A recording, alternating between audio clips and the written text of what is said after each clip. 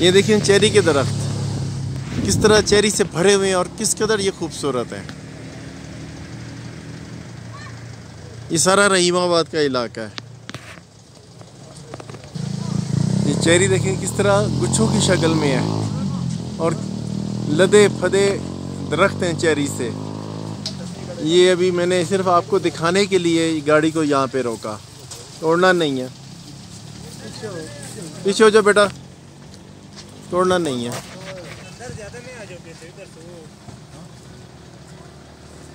ये सारी चेरीज। हैं